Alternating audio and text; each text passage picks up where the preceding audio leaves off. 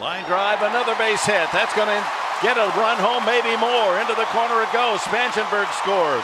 Kemp's around third and will hold on a double by Upton. 2 0 Padres.